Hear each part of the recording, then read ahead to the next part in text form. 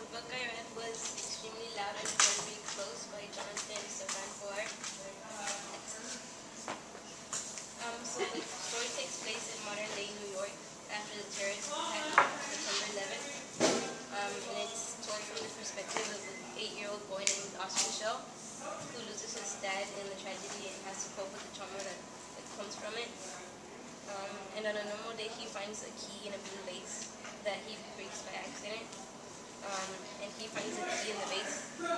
So he goes on a mission to find the lock that matches the key in order to become closer to his dad. Next.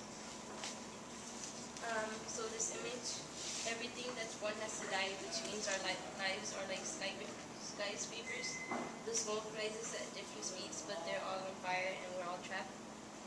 Um, so this quote, um, I thought that it meant how, it talked about how, um, like there's moments in, in our lives where, like we have to go through like tragedies that shape the way that we go on living.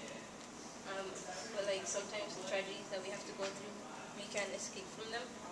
And um, and I think from the picture, like the proportion and scale of children compared to buildings, um, emphasizes emphasizes how what's going on around them is like a lot bigger than they have the capacity to, to understand.